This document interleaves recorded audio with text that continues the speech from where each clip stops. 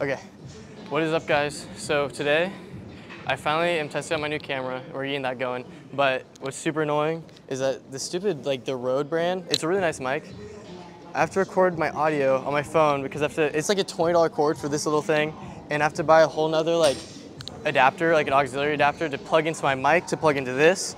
Because for some reason, the auxiliary adapter that came with doesn't even like plug into the camera at all. It fits like a it's like a different millimeter. I don't know. I know nothing about cords, but another like $20 cord just uses its mic. But we're gonna get that going after today. But just testing out the mic quality. And what I wanted to talk about today actually is um, why I carry around like this book and journal everything all the time. Basically, it's um, my system is that I'm on a program which is progressive overload. So I'm on my bulk right now and I'm trying to focus more on if I'm not seeing progress slowly, then I'm seeing progress in this book. And basically every single time I go back, so say today's, today's my shoulder day, so I'm gonna go back in this book and look at what I did for this workout and I'm gonna go up by two and a half pounds or five pounds depending on how heavy it feels. So at least I see progress throughout this book slowly. And so far it's been going really well, but eventually I know it's gonna like, I'm gonna like peak and then either gonna have to like battle it out or kind of go up and down. But I know starting out, it's really good to just keep a log and do like a little journal for a little bit. But that's what I've been doing. We're gonna get into this shoulder workout. I'm gonna make you guys a quick edit. Keep this video a little bit shorter than usual and we're gonna go and get started.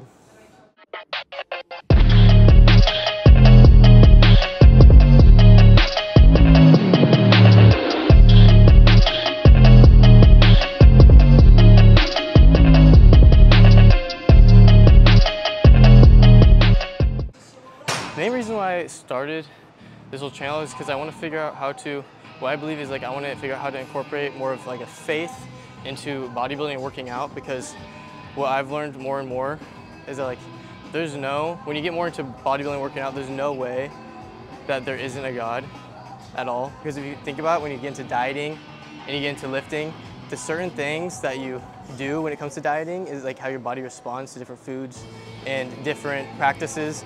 Like your, your body's so complex and there's so much science behind it that there's literally no way there isn't a God. And that's the whole entire reason why I wanted to start this channel. And I'm trying to figure out my niche still. I'm still, I have plenty of ideas for content for you guys, but I'm still slowly just trying to grow and create more and more content, create more of a variety, which is why I'm making today's video, more of a just me talking, like letting you guys know like why I do this and what I am doing besides of like less working out. So that's like my whole goal for today.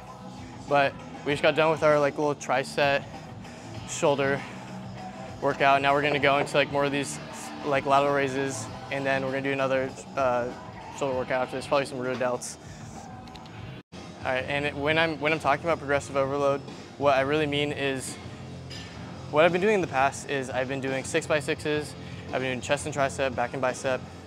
I really want to highly encourage you guys to try a bro split and do shoulders one day and do chest uh, like another day, like just chest and just shoulders because I changed my entire routine. I do three by 12s now and I do warm up sets for every single workout and it really is like it's a it's a big difference between lifting heavy and not seeing much growth versus doing actual bodybuilding like workouts that actually will be going into sculpting your body and focusing on each individual muscle group and kind of like sculpting your body like adding clay every single time. Like you really just want to blow out your shoulders, blow out your chest every single day when you go into the gym. And that's what been my goal. And that's why I want to like highly encourage you guys to go ahead and try if you're getting more into bodybuilding.